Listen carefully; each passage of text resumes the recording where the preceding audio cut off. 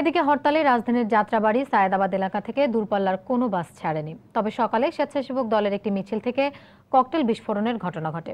যাত্রাবাড়ি থেকে বিস্তারিত জানাচ্ছেন আমাদের রিপোর্টার ওমর ফারুক।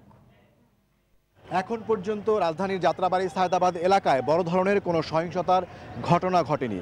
হরতালে এ পর্যন্ত এই এলাকায় উল্লেখযোগ্য ঘটনা ঘটেছে তিনটি। সকাল সাতটার দিকে রাজ- রাজপথ থেকে একটু ভিতরে শহীদ ফারুক রোডে স্বেচ্ছাসেবক দলের নেতাকর্মীরা বেরিয়ে আসে এবং তারা পরপর তিনটি ককটেলের বিস্ফোরণ ঘটায়। পুলিশ তাদেরকে ধাওয়া করলে তারা তাদের হাতে থাকা ব্যানার ফেলে সেখান থেকে পালিয়ে যায়।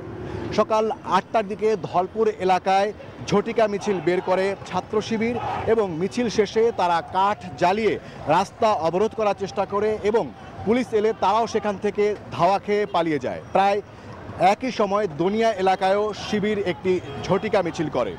যানবাহন চলাচলের কথা যদি বলা হয়, গণপরিবহনের চলাচল স্বাভাবিক সময়ের তুলনায় কিছুটা কম। চলছে কাউন্টার বাস চলছে লোকাল বাস সিএনজি এবং রিক্সা চলাচল তো মোটামুটি স্বাভাবিকই বলা যায়।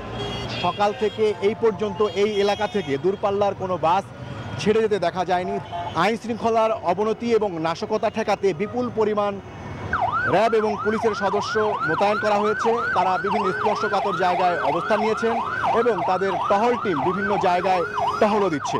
যাত্রাবাড়ি এবং সায়দাবাদ এলাকা থেকে এই ছিল হরতালে আমার কাছে থাকা এই পর্যন্ত খবর। চলে যাচ্ছি স্টুডিওতে, ওমর ফারুক, সময় সংবাদ।